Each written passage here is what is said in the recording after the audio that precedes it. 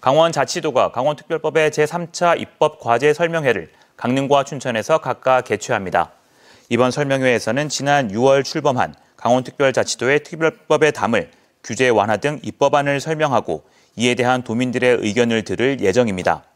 영동 지역과 태백, 정선, 영월 지역 주민은 12일 오후 2시 강릉 나카이 샌드파인 리조트에서 열리는 설명회에 참석하면 설명을 들을 수 있고 원주 등 내륙권 9곳 주민들은 오는 13일 오전 10시 춘천 세종호텔에서 열리는 행사에 참석하면 됩니다.